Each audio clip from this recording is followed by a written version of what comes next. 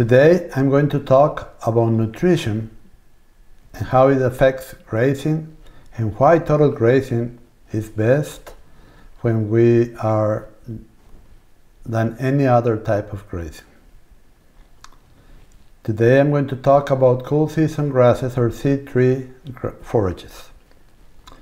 Nutritionists, when they balance rations, they commonly use net maintenance energy or net gain energy or net uh, lactation energy along with protein and others. But they usually consider that the younger the forage is, the higher the energy is, which is true, and the higher the protein is, and the lower the fiber. And they consider that the lower the fiber is, the best or higher daily intake there will be by, in the part of the animal. They usually um, calculate a ration for a total mixed ration where it's fed on a corral and they can mix this very young forage with other sources of effective fiber to avoid diarrhea or an excess of uh, potassium in relation to sodium so they don't have scours. But would that help us to decide what's the best stage of maturity and how to graze for our cattle? If we take those um, advice, if we take advice from them, we may end up with a wreck because our cattle will select the highest energy parts of the plant if we allow them to graze selectively and that will also be the part that has a very high protein content and very low fiber content. As a nutritionist needs to um, calculate enough protein in the ration to avoid diarrhea or scours, we need to balance the stage of maturity in our cool season forages so that we do not get scours from not enough um, fiber in the diet. Effective fiber is what it's called. And they also cut it with a machine and then mix it and feed it in a corral. We do not. We put our cows in the field because economic reality. We need to do, do it that way. So how do we balance or how do we gauge how mature our cool season grasses should be before we graze them so we do not have scours? Well, that's the stage of maturity. As the plant matures, the fiber goes up. But you may say, yeah, but the energy also goes down and the protein goes down. Yes, that's true. Energy and protein will go down and fiber will go up, but that will create a better balanced ration for your grazing animal. If we consider that the available energy is dependent on how much protein excess we have, we can easily find out that it's better to allow our forages to mature more talking about cool season, C3 forages like alfalfa, clover, ryegrass, orchard grass, all of those, even brassicas. Uh, they are low in fiber, normally high in protein, and medium to high energy. So we do not need them to be so high as a lactating cow, a dairy cow. We want to create more forage per acre while we ensure that our cattle are healthy.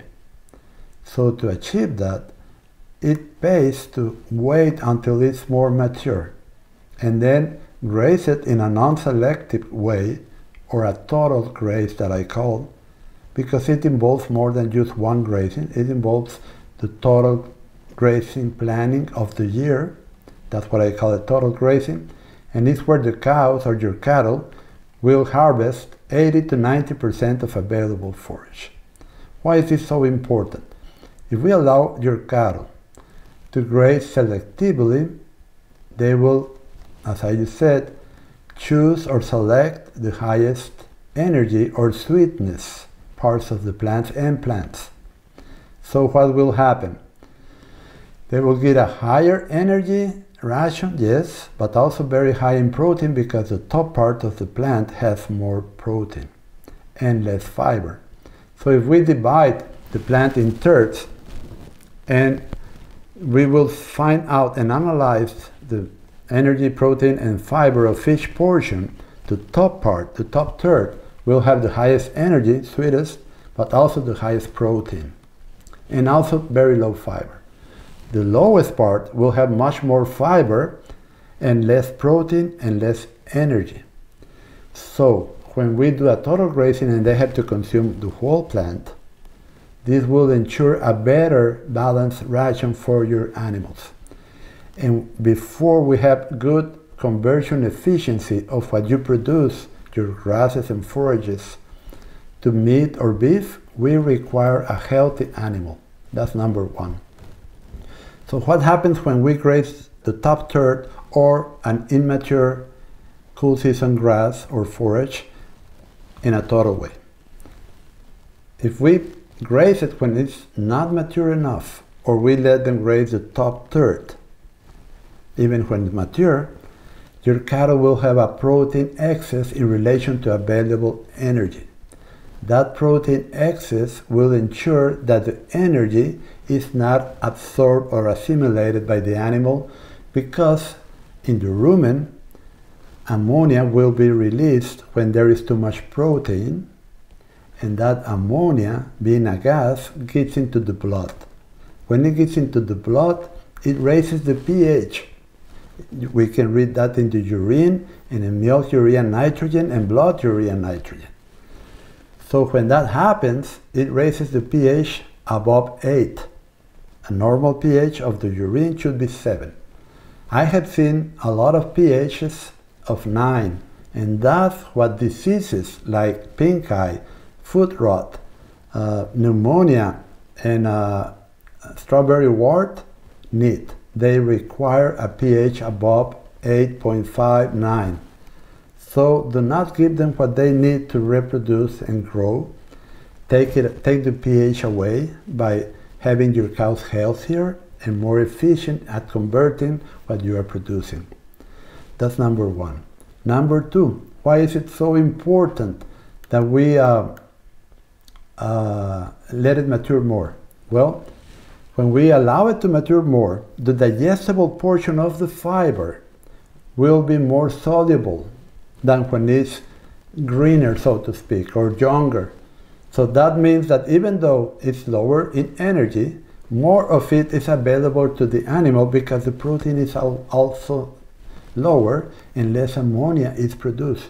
So we have two things here. Less ammonia produced, more uh, intake into the body of the animal through the, the digestive system, through the blood, and the soluble fiber is increased, even though it's higher fiber, is, the energy is better utilized.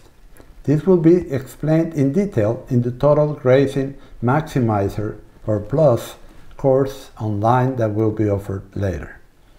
Those of you that had already taken the course know that this is true because you have observed it. Do we want our cattle to have suboptimal health or do we want them to have thriving and vibrant health?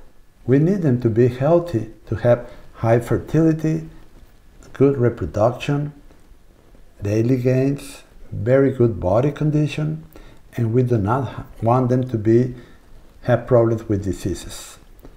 So the first step is to have our cattle healthy.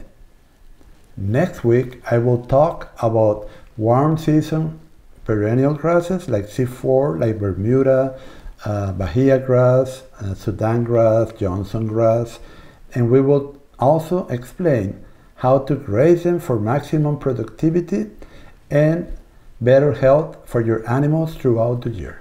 Thank you.